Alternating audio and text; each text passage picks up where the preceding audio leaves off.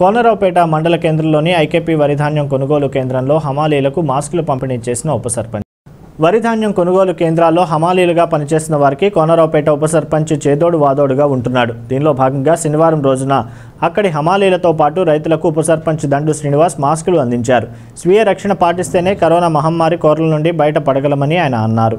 ఈ కార్యక్రమంలో ప్రవీణ్ జితేందర్ భీమనపల్లి మోహన్ ఐకేపీ సిబ్బంది రైతులు ఉన్నారు.